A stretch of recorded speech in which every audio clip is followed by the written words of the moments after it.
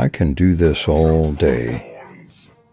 Hi, we all know Sir Gerald is a really strong hero, and he became 10 times stronger when he became a boss in Kingdom Rush Vengeance. Let's see how strong he really is. We are going to check if we can defeat him using only our strongest warriors, the Dark Knights. Make Dark Knights are the strongest barracks in Kingdom Rush Vengeance and they are good at fighting and even destroying bosses. Here, we have 6 Dark Knight towers to stop Sir Gerald. Let's see how many Dark Knights Sir Gerald is going to slay today.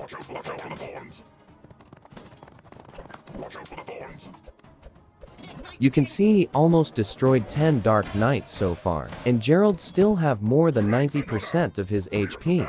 Sir Gerald is really badass. Looks like this will last forever. Oh, finally, after a long time, Gerald managed to move forward. But just to face another big group of Dark Knights.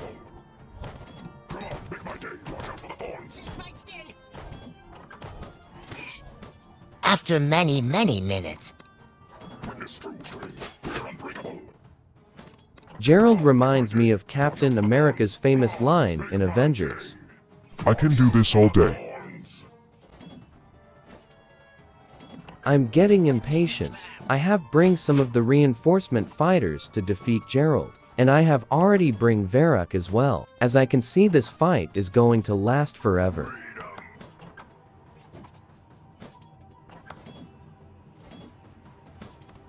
Witness true strength. We're unbreakable. Come on, make my day. Gerald must have destroyed more than a hundred Dark Knights by now. He is really a legend. I do not think any other boss can last this long in front of fully upgraded Dark Knights. Kingpin would have lasted as he is unstoppable, and Barracks cannot do anything to him. Please let me know if you have a different opinion.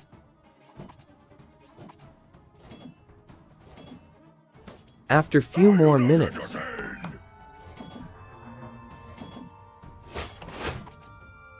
Wow, finally, we managed to do that. We defeat Sir Gerald using the Dark Knights, but is costed a little above 100 Dark Knights. Thank you for watching.